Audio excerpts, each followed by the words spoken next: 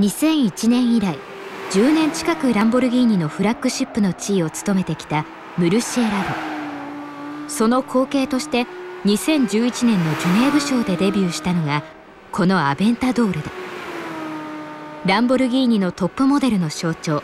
跳ね上げ式のシザーズドアを継承しシルエットもムルシエラゴと大きく変わらないため車の成り立ちもさほど大きな変化はないように感じられる。しかしその中身は全て新開発。しかも驚くほどの進化を遂げていた。従来の交換スペースフレームの代わりにカーボンモノコックと前後アルミ製サブフレーム。そしてボディパーツのほとんどをカーボンとアルミで構成することでムルシエラゴより実におよそ100キロも減量。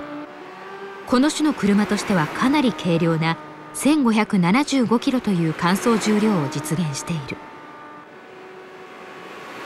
ミッドに搭載する新開発エンジンは6.5リットル V 型12気筒 DOHC48 バルブ。最高出力700馬力。最大トルク70.4キロのパワーを持つ。これをガヤルドの最新 E ギアより変速が40%速い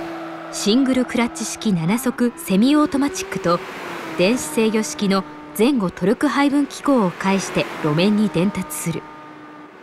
サスペンションは量産車としては世界初。レーシングカーそのものといえるプッシュロット式ダブルウィッシュボーンを採用。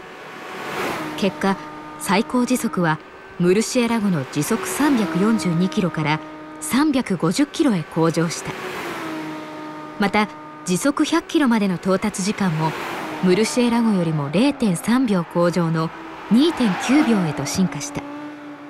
さらに高速コーナーでの安定性は他に類を見ないほどである。